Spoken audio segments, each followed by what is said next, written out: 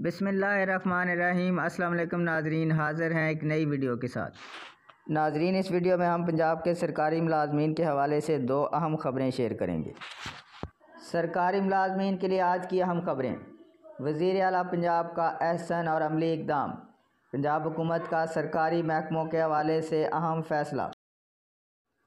پنجاب حکومت کا سرکاری محکموں کا ڈھانچہ تبدیل کرنے کا فیصلہ۔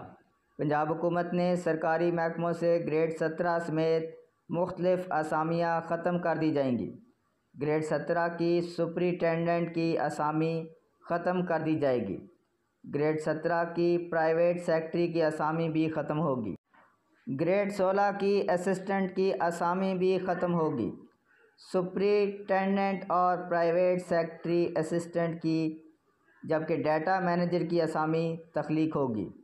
جونیئر کلرک اور سینئر کلرک کی اسامی ختم کر کے ڈیٹا آفیسر کی اسامی تخلیق ہوگی۔ ڈاک رائڈر کی اسامی ختم کر دی جائے گی۔ چوکیدار اور نائب قاصد کے لیے نجی شعبہ سے عملہ لیا جائے گا۔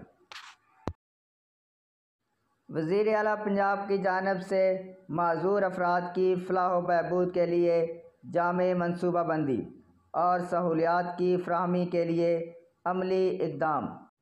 محکمہ سوشل ویلفیئر پنجاب کے ساتھ رجسٹرڈ تمام معذور افراد کو بلا سود قرضہ جات، معاون آلات، فنی تعلیم، ماہانہ وظائف، نوکریاں، تمام عمارتوں میں داخلے کے لیے قابل استعمال راستے ریمپ قابل استعمال ٹوائلٹ اور لفٹ، پبلک ٹرانسپورٹ، بشمول بس، ٹرین، ہوائی جہاز وغیرہ میں کرایوں میں رائد جیسی سہولیات فراہم کرنے کے لیے افراد باہم معذوری کی رجسٹریشن کرنے کا فیصلہ۔